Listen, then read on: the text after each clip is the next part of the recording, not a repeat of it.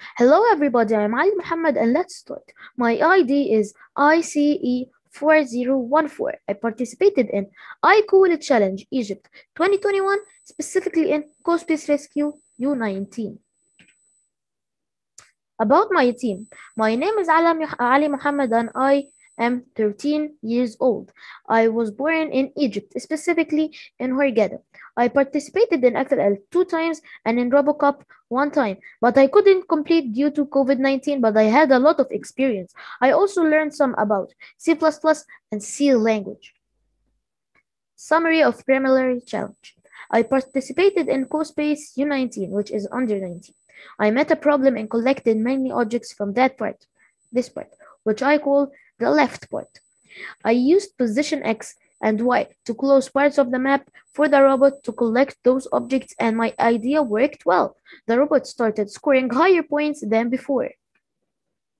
Analysis. The mission was to collect objects without getting out of the map borders and to go to the deposit box easily. Yes, it can be broken. Me, myself, I broke it. I chose places in the map and made it my main points, such as here. P1, P2, P3, P4, P5, and P6. And yes, when we broke it, it, the mission will be completed and will work well. Algorithms and resources. I made the robot move the way I wanted. First to collect objects from a certain area, then go to deposit at the deposit box, and then complete collecting objects and so on, the same loop. I used the time sensor, position sensor, compass, ultrasonic sensor, and of course I used the wheels. The robot made what I wanted and worked well. Implementation. Here's my flowchart. Do I see orange with the two sensors? If yes, go to the deposit. If no, do I see orange with one of the sensors? If yes, if I see with the right, turn left, turn left. If I see with the left, turn right. And that will increase the chance of depositing. Am I inside the trap? If yes, reset the loaded objects. If no, um, do I see yellow with any one of the sensors? If yes, and if I see with both, I turn strongly. If I see with right, I go back with the left wheel. If I see with left, I go back with the right. If no, do I see objects with any of the sensors? If yes, I collect the object. If no, am I at P6? If yes, turn to zero degree. If no, am I at P5? If yes, turn to 180 degree. If no, am I at P4 and past three minutes? If yes, turn to 170 degree. If no, am I at P3? If yes, turn to 90 degree. If no, am I at P2? If yes, turn to 0 degree. If no, am I at P1? If yes, turn to 270 degree. If no, am I at the borders of the map? If yes, turn to avoid falling and freezing. If no, do I see anything with the ultrasonic sensor? If yes, turn to avoiding uh, turn to avoid hitting that wall or that object. If no, keep moving forward.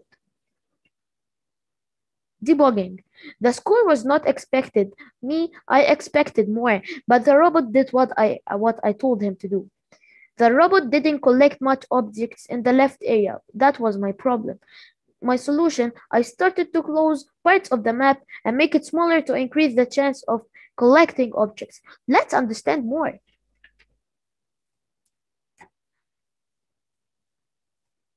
Here, here is the map. What did I do? After one minute, I closed that part. So the robot now can collect more and if he came to this, uh, he will automatically turn. After three minutes, I closed this part. So when the robot comes here, he will automatically turn. And after five minutes, at the last minute, I closed that part.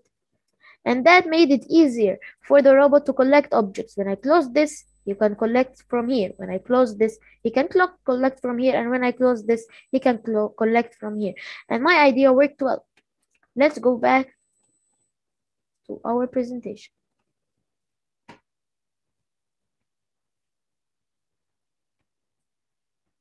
The conclusion. My, my program was good, but it wasn't the best that I can do. If I was told to solve the same map again, I would work on collecting super object to gain more points and also would work on collecting more objects from the left part, more and more. My learning experience. I learned time management, C language, problem solving, critical thinking, and those all are very important things. I gained the ability of problem solving, which is important to use in many situations.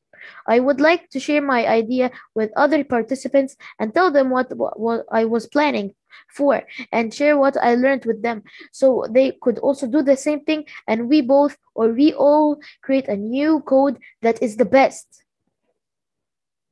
And thank you.